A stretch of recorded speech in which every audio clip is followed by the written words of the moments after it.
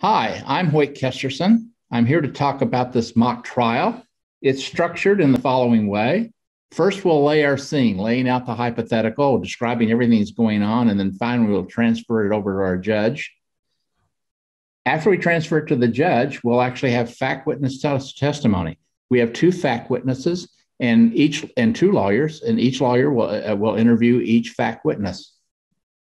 Then we're going to get down to legal argument. The two lawyers will basically argue their position. And then we'll have the decision and commentary by Judge Beeler. But prior to doing that, she's going to look for bold souls out in the audience who will actually opine on how they would have actually decided and why. So we'd like to have some audience participation here. The Who I Want to Grow Up to Be company decides that in, in, in November of 2019 that they would like to produce a set of action figures based on Ruth Bader Ginsburg. It's going to be four dolls, one when she's a young girl, one when she's a graduating law student, one when she's a practicing attorney, and one when she's Supreme Court judge. They're under some pressure to get this out in the following following Christmas. They're going to have to go out to all their suppliers. They have to put out for quotes and they're concerned about two things. Seeing all the attacks and everything that's happening they want to make certain that whoever they choose is resilient can resist attacks. And also they don't want anyone to steal their ideas. So they want to make sure that they're secure so that they'll be confidential. So in their rfp they actually put out a requirement. If you come to us with a proposal you have to state that you have commercially reasonable security. You have to have had a third party security assessment You've had to have had a third party penetration test, and you must buy adequate cyber insurance. And so companies run around and start doing all this good stuff and want to bid for it. And, and the one that wins the bid for the production of the dolls, not the costumes, not everything else, but just the dolls themselves, is a company called Dolls R Us. They, they've done all this stuff they're supposed to do. The unfortunate problem is that Dolls R Us has already really been penetrated. So nefarious never do wells have already penetrated them. They've compromised credentials. They've taken over accounts. They've done all the persistent stuff that people talk about. They, they've uh, surveilled the environment. They've escalated privileges.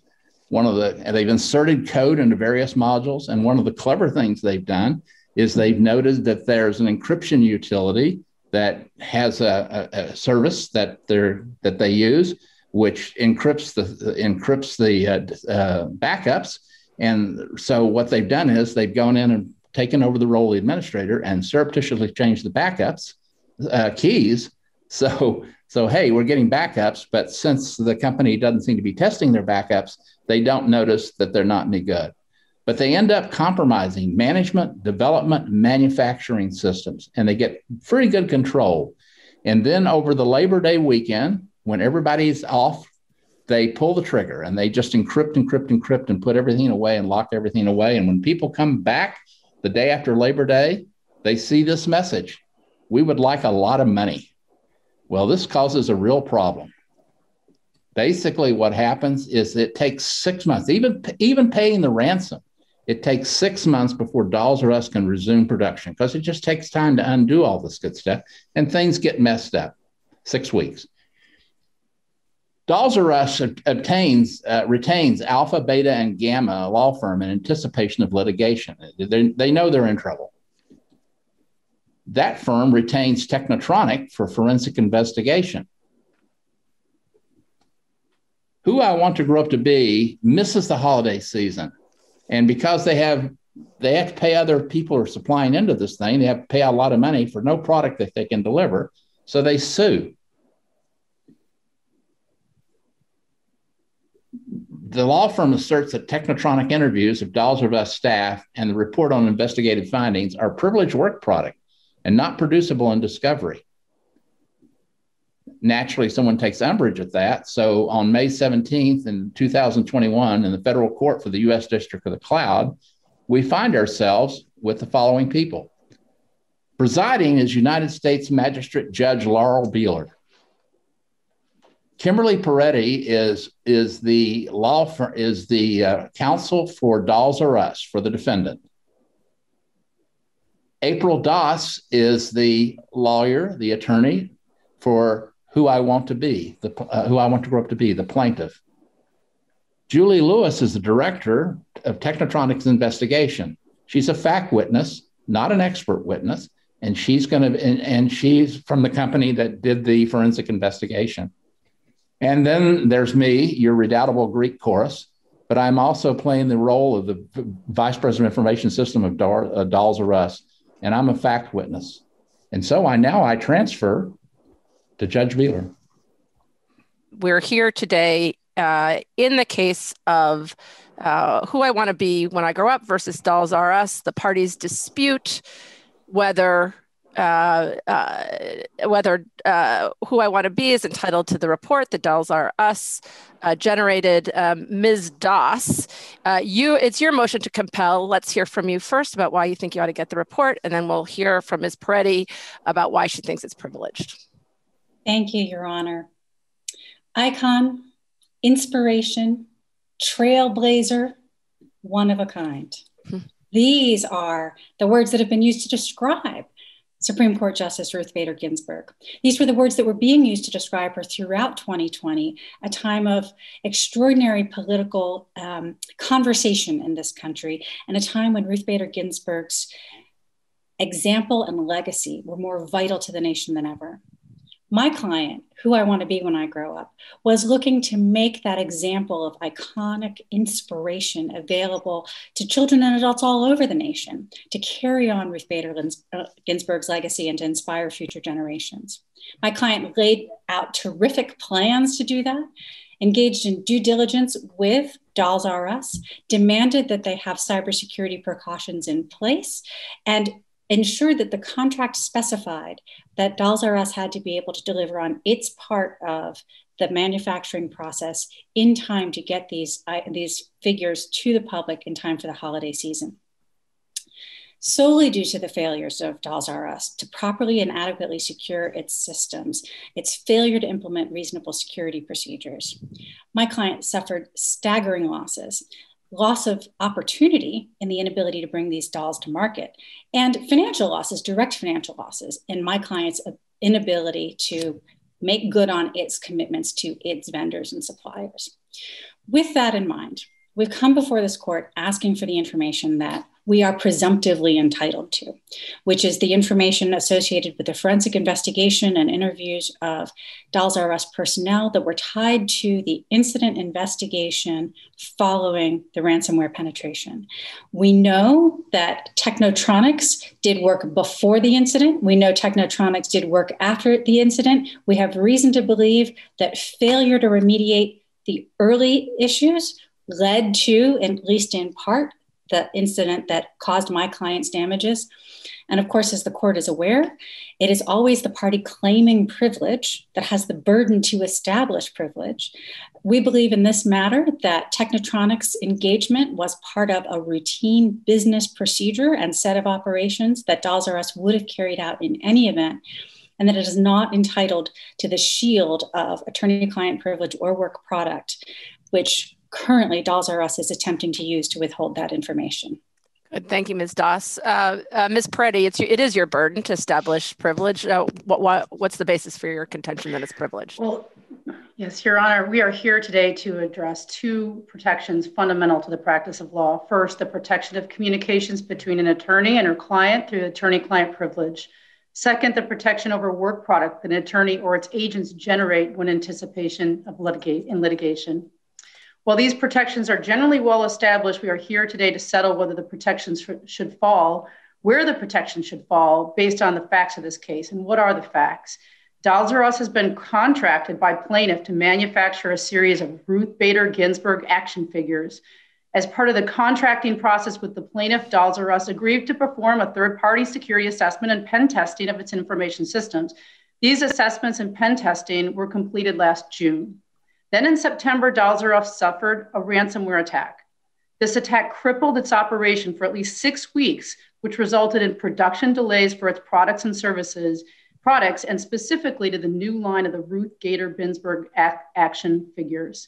As you will hear today through testimony from the Director of Technotronic Investigations and the Dolls Vice President of Information Systems, Dolls immediately engaged outside counsels to investigate the matter and manage the legal risk associated with the attack.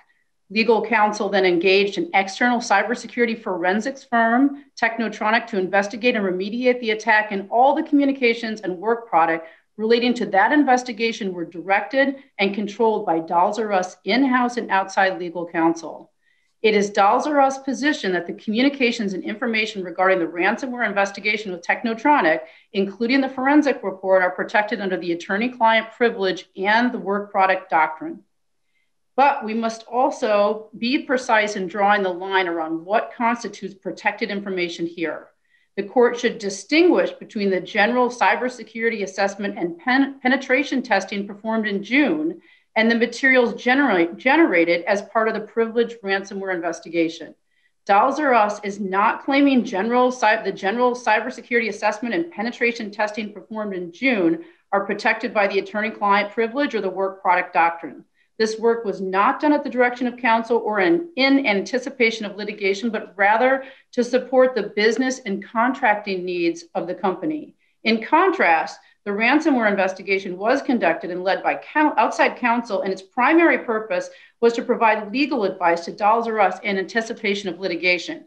Unlike the general business purpose of the June incident, the ransomware investigation involved a whole host of legal issues. Those legal issues are, for exa- example, whether there was data exfiltration or other unauthorized access to systems that would trigger state data breach notification statutes, whether the incident was material to the organization of Dolls R Us and could trigger SEC disclosures or other con- contractual reporting obligations, whether engaging with and communicating with and paying threat actors could violate OFAC sanction or international sanctions against providing support to terrorists, and whether there's an increased risk of legal claims or litigation arising out of the in- incident and what those defenses what defenses might be available to Dolls R Us. So of course, Dolls R Us bears the burden of establishing that the asserted privileges and protections apply. To satisfy that burden, Dolls R Us will begin testimony from two individuals, Julie Lewis, the Director of Technotronic Investigations, and Hoyt L. Kesterson II, uh, the Vice President of Information Systems. This uh, of Dolls R and this testimony will confirm that the ransomware investigation was for a legal purpose and different in scope from the general business purpose of the cybersecurity work that the company had previously done. And lastly, we will close with legal arguments showing how these facts satisfy the various standards for attorney client privilege and work product protection. All right. Thank you very much to you both for those opening remarks. Uh, and I, the witnesses previously have been sworn uh, in the interests of efficiency. And so, um, Ms. Peretti, I understand you're going to call your first witness, Ms. Lewis from Technotronic. Ms. Lewis. Ms. Lewis, Lewis, can you please state your name for the record? Absolutely. Julie Lewis. And what is your occupation? Sure. I'm director um, of Technotronic Investigations. And, and can you describe what Technotronics is? Absolutely. Uh, Technotronic is a provider of security assessments, pen t- testing, as well as incident response and cyber investigation services. And what is a vendor security assessment? Sure. A vendor security assessment is looking at the controls within a, a organization uh, to see where there may be weaknesses and recommending um, changes that need to occur based on uh, a vendor uh, requirement for due diligence uh, and looking at their security controls. And how do these security assessments occur? Um, so generally, these security assessments could be brought uh, based on internal needs, where they just want a, a company just wants to strengthen their security controls or could be brought on by an external vendor requirement um, where uh, a corporation is looking to use our client for services. Okay. And what is penetration testing? So, a penetration test is essentially hiring a third party like Technotronics to try to access or penetrate systems or applications that you believe are secure Uh, it is like trying to simulate the way a threat actor or hacker would try to access systems illegally. Um, it's also known as red team uh, testing in the in the security world. And what is incident response or a cyber investigation? What type of services are those? Yeah, a, a cyber investigation is generally when there's um, some known wrongdoing. For example, a hacker or inter- insider got into systems and um, trying to figure out the who, what, when, and how of what happened, um, trying to stop um, any kind of data incident, as well as looking for PI and PHI, which may have been affected for breach notifications. And what is a forensic investigation, or is that the same thing as incident response of a cyber investigation? Um, it's it's really the same thing um, where we're conducting an analysis um, and providing information on what happened uh, into uh, and generally into a report if requested by counsel. And and how does Technotronic staff engagements for security assessments, penetration tests, and incident response? How how can you repeat the question, please? Sorry, how does Technotronic staff engagements related to security assessments, penetrations, and incident response? Sure, absolutely. Um, so there, we have different personnel based on security assessments, uh, penetration testing, and then we have a Chinese wall, basically a segregation um, of our incident response and cyber investigations practice. So there's absolutely different skill sets uh, on both sides.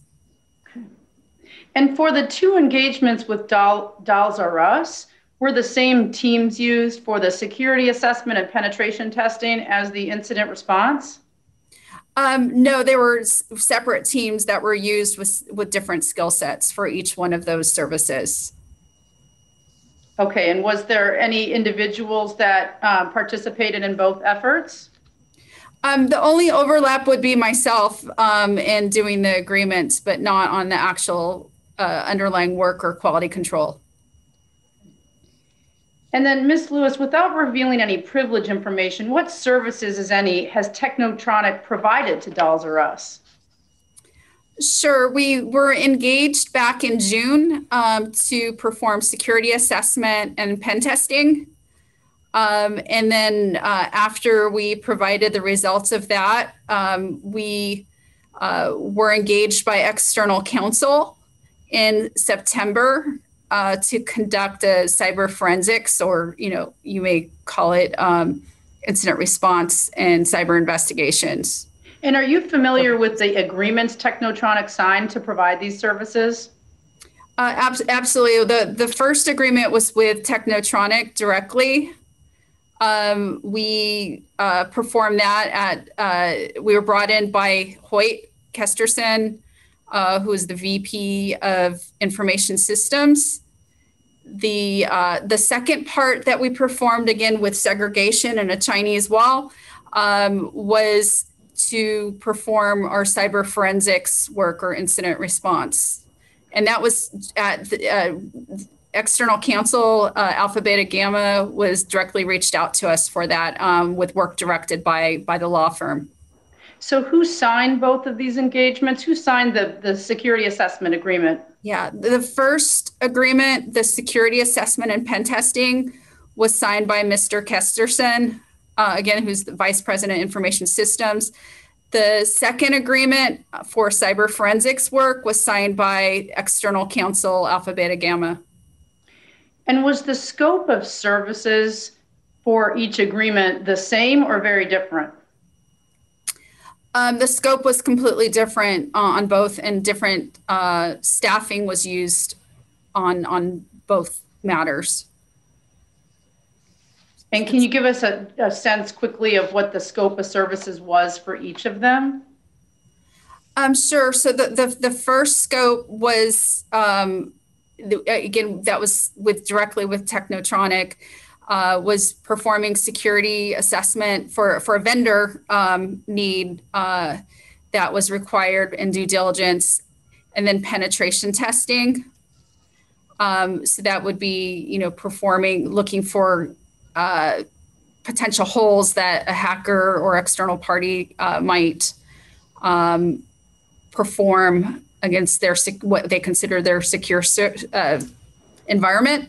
Um, the second is the cyber forensics, and that again was with Alpha Beta Gamma, um, and that was um, looking at what had happened, looking at how to get them back up and running uh, when they were hit with ransomware, and then um, performing analysis in a report, uh, and then subsequently looking at any PII or PHI that might have been affected.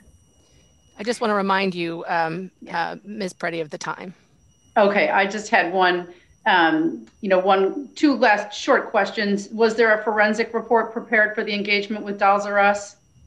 Um, yes, there was, and that was uh, provided directly to external counsel. And who directed um, Technotronics to produce that report? Uh, that was Alpha Beta Gamma, the law firm, okay. external counsel. Thank, thank you very much. I have no further questions. All right, Ms. Doss, your witness. Ms. Lewis, thank you for being here today. Um, how long has Technotronics been in the business of doing security assessments? Um, we've been doing this for over over 10 years. And how long have you been in the business of doing incident response or forensics uh, reports? Sure, we've been doing uh, cyber forensics or, or com- and computer forensics for over 18 years. Um, are you familiar from that experience with the fact that some in some instances, um, incident response vendors' work is covered by insurance. Uh, yes, absolutely. Um, and that sometimes um, insurers that underwrite cyber insurance coverage, in fact, have lists or panels of preferred vendors that they approve for um, use under uh, covered acts. Is that right? Th- that's correct. Um, Techtronics wasn't on the preferred list for the cyber insurance company um, that provided coverage for Dolls R Us, was it? No, it was not at the time. So you were not part of any of the panel coverage that would ordinarily be retained for an incident involving Dolls R Us. Is that correct? That is correct. So, how, so in fact, there was a specific request to add Techtronics to the list of authorized providers for Dolls R Us cyber insurance. Isn't that correct? Uh, that's correct because we were involved in the security assessment and pen testing, so we already knew the environment, so we could react quick, more quickly. And was and that request was made by Dolls R Us, was it not? That's correct, so that they could use us uh, and we'd be covered by the insurance carrier. And at that point, did the insurance carrier then ask Techtronics to provide some background information about your capabilities and so forth so they could determine whether to approve you? That's correct. And this happened before the cyber incident that's at issue here. Is that correct? Um, it happened after the cyber in, in, in conjunction. Okay. Okay. Thank you. Um, and um, the security assessment team um, found uh, so a number of deficiencies, as is ordinarily the case, some things that can be remediated. Is that correct? That, that's correct.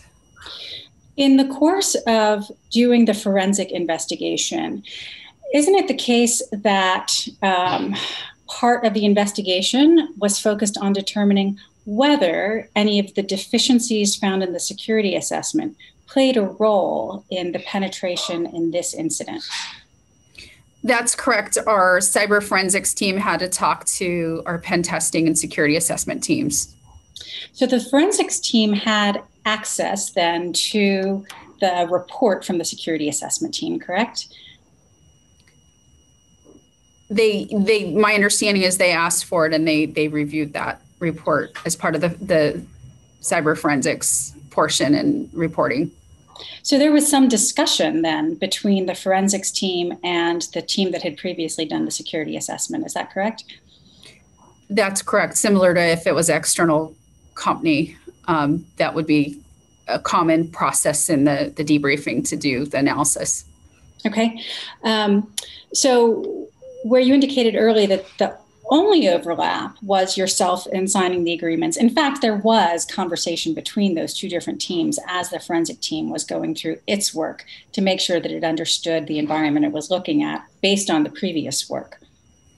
That's correct. Um, there were different technical resources, however, um, but that communication happened between teams. And um, uh, just a couple of other questions. Um, I, know you indicated that you've been doing forensics work uh, at Technotronics for many years, and and I would imagine that in some instances you do that um, by direct engagement with a client or customer, and uh, in other cases by direct engagement from a, a law firm. Is that generally correct? It, it, depends on what it is, but in the the cyber incidents involving data bre- potential data breaches, it's it's driven by counsel in general. And um, have you ever been engaged by the law firm Alpha, Beta, and Gamma before? No, this is the first time. Thanks very much. Nothing further. All right, the witness may be excused. And are you ready to call your next witness, Ms. Peretti, Mr. Kesterson? Yes. All right, so you may proceed. Good afternoon, um, Mr. Kesterson. Please introduce yourself and, and to the court, stating your name and title. Uh, my name is uh, Hoyt L. Kesterson II. I'm the Vice President in charge of Information Technology for Dolls R Us. And how long have you been a vi- Vice President for Information Systems? Five years. Can you briefly describe your role? Uh, my role is pretty much everything that happens with computers. That's the normal business processing, the process of uh, keeping it running. I don't have operations, but I do have the, all the stuff that runs on it and of course, naturally, all the stuff that secures the environment.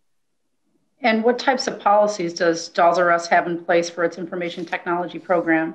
Well, we actually have quite a thorough set of uh, policies, uh, which we for written information security policies, which here we fondly refer to as WISP. Uh, we have uh, uh, remote access policies, we have use policies, we have uh, business continuity and disaster recovery policies, and we have incident response policies. And are you familiar with the incident response policy? Yes, I am. Under this in, uh, incident response plan, who is responsible for managing and conducting incident response? Well, it depends on the incident response itself. Uh, we have concerns if, in fact, it ever affects user data and so forth, because then we know there's potential all kinds of statutory, regulatory, and all kinds of people coming after us. So in that particular case, we we we handed over to the lead over to the to a law firm. But other kinds of stuff, just normal incidences, we st- structure a team out of our own internal resources. And are you familiar with the vendor security assessments? Are you familiar with vendor security assessments and penetration testing? Uh, yes, I am. Has Dolls ever been asked to perform a security assessment or penetration test? Yes, in in a recent to satisfy a recent RFP for uh, who I want to grow up to be, we had to have uh, a security assessment. We had to have uh, penetration testing, and uh, we got we did so. And and who performed the security assessment and penetration testing? We engaged tech, Technotronics. What was the scope of your engagement with Technotronic at that time? The scope is the, the, the standard stuff, basically to, to, to do penetration tests to see our firewalls are configured properly, to examine uh, all our configurations, to look at our policies, to make sure we have in place uh, reasonably reasonable commercial security. And what line in the Dolls R Us annual budget budget would have paid for these services? Well, this would come out of our IT budget. Okay. What were the results of the security um, assessment and penetration testing generally? Well, they weren't perfect, so we spent the summer getting our act together so that we could respond to the RFP. That we had a good that we that we had what needed to be in place. Did you provide the results to who I want to be when I grow up? Uh, no, we just basically said we satisfy the requirement. Okay. Has Us ever had to use its incident response policy? Absolutely, most recently. And Counsel, I just am going to remind you of the time issues. I know that you have a number of questions you need to ask here, but I think we all understand that there was a ransomware attack here and it took six weeks for the company to recover. So I suggest you get right to the scope of the work so because you're already over time.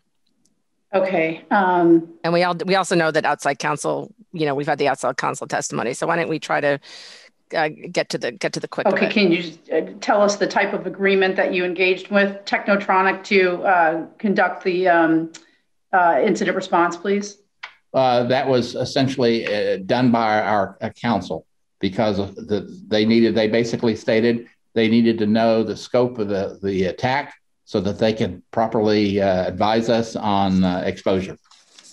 And how did you pay for the incident response and these services? Uh, in this particular case, it was paid for out of our legal contingency budget. And what controls did outside counsel place around the sharing of information from the investigation? Uh, very much need to know. We had to actually split into different teams, teams to actually correct it, who correct all the problems, which knew they were addressing a ransomware attack, and then another team which was basically trying to put controls in place to make sure it didn't repeat. Those people didn't know why they were doing what they were doing. And they were just following the instructions, and they were following the instructions led by a very limited number of people who had access to the uh, to the incident response. To pardon me, to the forensic examination report. To, so to, to be clear, did you involve IT staff or other members in the investigation? Were they aware of the report? Did they read the report? Only only uh, three people: myself, my assistant uh, assistant director, and one other person, the architect, so that we could structure a plan to to, to, to advise the second team. What other controls did you have in place to keep the investigation confidential? Well, they were told not to talk about it. That's you can't do much more than that. Okay. Um, and to, to your knowledge, the investigation team abide by those rules? To my knowledge, they did. No All further right, questions think, at this time. Uh, thank you, Ms. Peretti. Ms. Doss, your witness. Thank you. Uh, Mr. Kesterson, um, the Us incident response plan that you referred to, uh, that specifically calls for um, conducting an investigation whenever there's a significant incident. And as you described, for certain types of incidents, counsel may be engaged, and for other types of incidents, the uh, investigation will be done in house. I believe that's what you testified to, correct? That's correct. So, in any case, under your incident response plan, isn't it true that the IRP or incident response plan calls for determining to the extent possible what root causes might be of the incident? Yes. And does it also call for determining to the extent possible what the scope of the incident is? Uh, yes. And does it call for, to the extent reasonable, advising on remediation steps that may be beneficial? Uh, that's certainly responsibility, yes. And doesn't the IRP also call for an investigation report to be done for all significant incidents? yes, at the end of the incident, you're supposed to basically, what did we learn? And that after action report gets prepared regardless of the type of incident, does it not? Yes. And it gets and that after action report gets prepared regardless of whether the incident is conducted by outside counsel or in-house. Is that correct? Well, that one's that one slightly depends. Uh, we don't really address any, any any any legalities. Okay, that's not our business, right? So we don't write it for that. We basically say this is the stuff we fixed and why. Okay. So then, in order to be more clear, is it the case that under the IRP, the technical dimensions of the forensic report, the assessment to the extent possible of root cause, scope, and any remediation actions that may be relevant are done regardless of the type of incident. Yes, the, we, we, we record everything in terms of, of change control documentation and so forth as to what we did. Dolls has had a relationship with Technotronics for some time. Is that correct? I wouldn't necessarily say for some time. We we we we've known them off and on. We knew about them, and that's why we we typically don't have a requirement from a vendor to do for, from a, a pardon me from a from a customer to say you have to do an assessment report. So, but we knew them. So when we had to do it, uh, uh, based on short notice, they're the people we went to. Sure, and and you were happy with their work on the security assessment, I assume. Well, we got the contract. And uh, so as a result of the work they had done on the security assessment. Didn't you also consider whether or not they might be a good choice to do incident response work for Dolls R Us if it was ever needed? Well, of course, naturally you think of that, you know, because there's someone whom you worked with, and the advantage is they just studied your system, so they kind of know how it works. And isn't it the case that it was in fact Dolls R Us that reached out to your cyber insurer, insurer to inquire whether Technotronics could be approved as an incident response vendor in the event that incident response would be needed? Well, we wanted to make certain with our insurer what could be done. And since we knew these people, we asked our insurer if in fact they did do it, would we would we get covered? And they they said yes if we do certain things. So so you reached out to the insurer and asked, could Technotronics be a preferred or panel or approved provider for the forensics, correct? Yes. And you reached out to Julie Lewis and said, we'd like to have Technotronics be one of our providers. Is that correct? Yes. Um, you talked about uh, the budget that was used to pay for the forensics response work um, and the security assessment work. And you indicated the security assessment work had already been paid out of the cyber budget. I want to talk about the budget for a minute. Within the Dolls R Us organizational structure, the cyber organization and the legal department both report to the same person, the VP of Finance. Is that correct? Yes. So both budget lines are within that same organizational component, correct? Well, it's all one big bucket, yes. And you mentioned earlier that Dolls R Us had not anticipated having to do the security assessment this year. That was something that was prompted by a request from my client. Is that correct? That's correct. So Dolls R Us on the cyber budget had already incurred unanticipated costs for this year, correct? Uh, yeah, I would say so, but we really hoped the contract would make up for that. Sure, but but there were some additional expenses that had not been anticipated at the well, beginning yes. of the budget cycle. Right. We, we, we don't normally have to do. We're we're not under anything where we have to do. We're a manufacturer. We don't really kind of do security assessments like financial firms and so forth.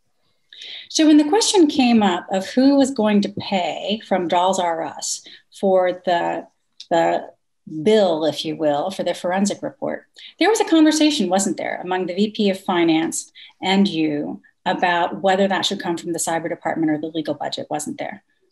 Well, there was discussion about who should handle this, right? Certainly, we we had all kinds of concerns. I mean, our basic plan said, you know, if it was if it's data loss, but ransomware isn't necessarily data loss, but we also knew that there was going to be litigation because we couldn't meet a contract. So, what do we do? So we kind of a bit of a tizzy, and we said, okay, this should really go into legal and that's why it came out of legal funding, and that's why it was handed over to Alpha, Beta, and Gamma to lead. And weren't you also concerned that your numbers were already over budget, and you knew that having the forensic response come out of the cyber budget would put you even further in the red?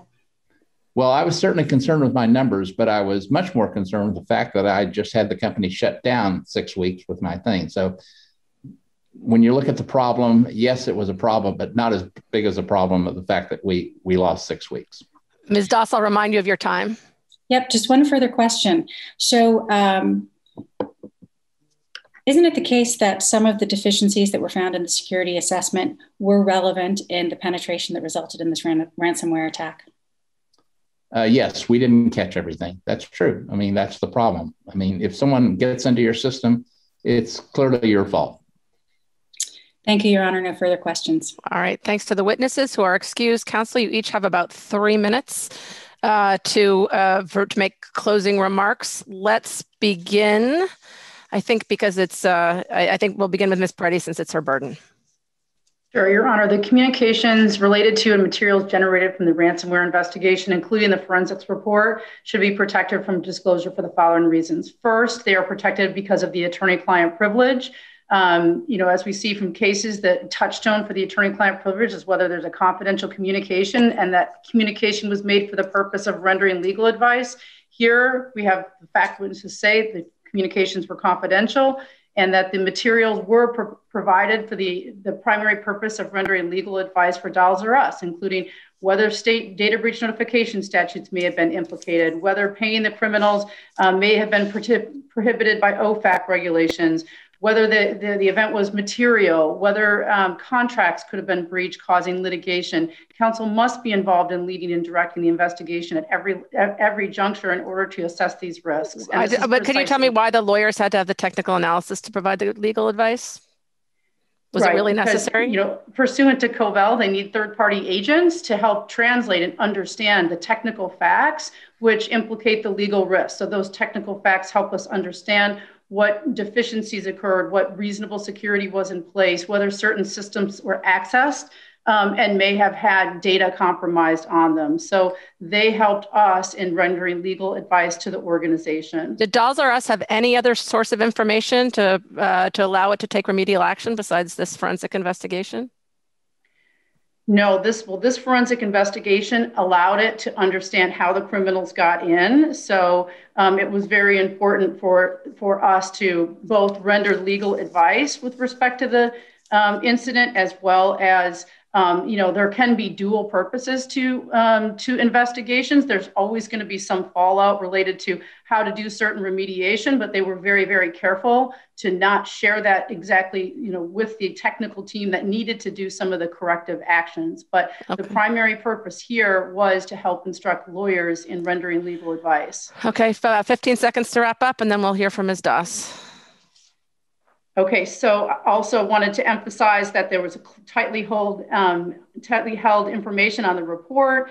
Um, it came from legal, the legal budget. It was a legal purpose to both for both the privilege purposes as well as the attorney-client and work product privilege. Um, the and importantly, that the investigator here was engaged in a very different scope of services in its prior relationship. It, there was no existing retainer to do incident response with this particular group. It was the first time they were engaged to do incident, respo- incident response, and it was by counsel. Okay, good. Thank you very much, Ms. Doss. Thank you, Your Honor. Um, first, I would draw the court's attention to the legal standard here, as was made clear by uh, this court in previous rulings. Um, courts generally disfavor assertions of evidentiary privileges that could result, excuse me, courts generally disfavor assertions of evidentiary privileges because they shield evidence from the truth seeking process. As such, those privileges are to be narrowly and strictly construed, so they are confined to the narrowest possible limits consistent with the logic of its principle. We've seen courts up, uphold that principle time and again. We saw it most recently in the Capital One decision. And um, what Counsel for Dolls R Us is asking us to do is to fly in the face of that standard. In this instance, there was a pre existing relationship between Technotronics and Dolls R Us. Technotronics had done work, gotten to know the system, created a security assessment, which revealed issues that were left unremediated and led to this ransomware that caused injury to my client. Um, because of that existing relationship, Mr. Kesterson said to Technotronics, We're going to recommend you to counsel. Counsel brought in Technotronics. Mr. Kesterson went to the insurance company and said, We want them on our panel. It is clear that it was the company, Dolls R Us, that valued this relationship. There's nothing wrong with valuing that relationship, but there is a, a stream of work here. We can't view the, the forensic work in isolation. Even if we could view the forensic work in isolation, it's clear that Technotronics didn't we have testimony from Julie Lewis at Technotronics that in fact the two teams collaborated. They talked with each other to understand what they were looking for, what they were looking at. We have testimony from Mr. Kesterson indicating that under Dolls R Us's own IRP, the forensic report would have been done in any event. Counsel for Dolls R Us is pointing to the legal work that, of course, counsel has to do. Yes, of course, counsel has to advise on any potential regulatory obligations and so forth. None of that is contained in the forensic report. That's contained in counsel's own work and counsel's own advice to the client. The forensic report was written by Technotronics. We believe it contains information that draws that straight line from the security assessment to the breach to the, the scope and extent of the compromise that has injured our client. We can't see that information if it is shielded behind privilege. We know from Mr. Kesterson that, you know, frankly, who paid out of which budget at Dolls R Us was a little bit of a fiction. He was over budget. It all comes out of the same pot. And as he said, you know what? If Dolls R Us has a breach, if they don't secure their systems, it's their fault. Once again, Counsel for Dolls R Us has an extraordinarily high burden. Counsel for Dolls R Us must demonstrate that not only did Dolls R Us know that this could result in litigation, but also that the work product would not have been prepared in substantially similar form but for the pro- but for the prospect of that litigation. Let me, let me, ask you one question because you're about out of time. So maybe you could take 15 seconds to answer this. Under sure. what set of circumstances uh, in a uh, post breach analysis of the, the um, weaknesses that led to the breach would a forensic report be work product under your theory of the law? Well, potentially, if it had been two different firms, if the two firms hadn't collaborated with each other, hadn't conversed with each other, hadn't consulted with each other.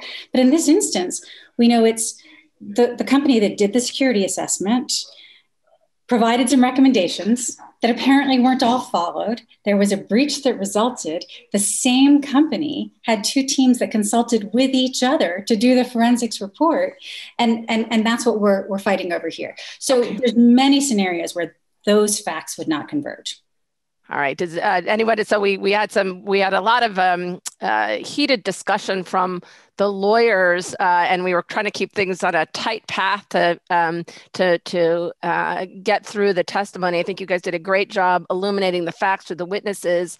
Um, uh, uh, April or Kim, is there something that you would have liked to say from a legal perspective of why the case law supports your position that you didn't get a chance to say because you were cut off in the last uh, minute or so, a couple couple minutes of your closing remarks? Yeah, I would. I mean, there's um, there's been several cases now, Premera, Dominion Dental, Cap One, and the courts really are focused on that uh, statement of work. Um, you know, and whether there was a previous similar engagement with the forensic firm, because um, a lot of times these forensics firms gets hired get hired by companies on you know repeatedly and sometimes just by the company and then sometimes by outside counsel. So when the courts have seen the same scope of services happen earlier in an engagement for incident response and then a subsequent one where they're hired by counsel, often that, that that's very determinative for them um, in their conclusion that the subsequent engagement has the same scope of services. So it's also, um, you know, it, it's also not it's business it's a business investigation rather than a you know for a legal purpose or in, in anticipation of litigation. All right. So kim that was that was helpful. Um, april anything that you wanted to add to that or that you did that uh, you wanted to say you didn't have a chance to say?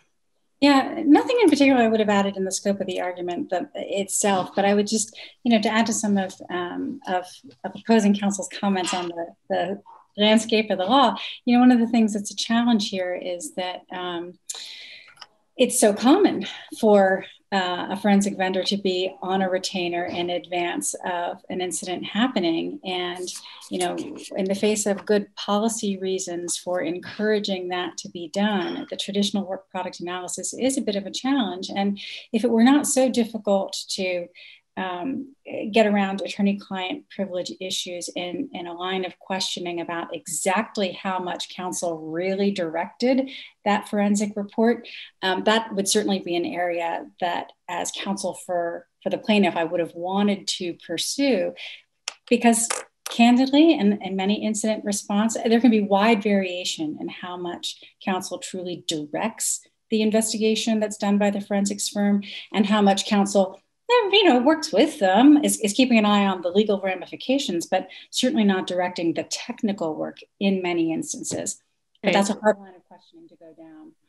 Right. That's it's that's uh, it's great observation. Um, uh, do you th- and do you think it's better practice? And what's the you know the if you think of it as this is a shorthand but if you think it as you know fact product as opposed to work product uh, and any forensic report probably has at least some component of you know work product opinion work product directed work product and there's probably going to be part of it is there really an upside for uh, for to have two reports? Because what does it matter anyway at the end? If you get a reasonable forensic investigation that you need to make sure you do your remediation for a business purpose that you would have to do anyway um, what's the strategy here? Do you have um, any comments on that from the lawyers? Is it that's that's the business question. Or it's a business slash litigation question. Do you have an idea do you have a do you have a view of what you think is the best better practice You know, I, no, I just I think it's challenging because um, because either really way, you're producing information. You're probably not going to hide the fact information by having it directed by an attorney. You're just not, right? So uh, right. I think that's the answer. Yeah. Good. Well, with that, um, any concluding observations from our, you know, one last chance for someone for the audience. We have about a minute left. And I don't, um, let's see, we have somebody just raised, just said something, sorry. Uh, so in the panel in the morning, the speakers suggested having a two-tack approach content, yeah, conducting a, an investigation for business purposes and one for forensic purposes. That was really that that was the question or the observation, and and that was what I was asking: is is there really a strategic upside for doing that?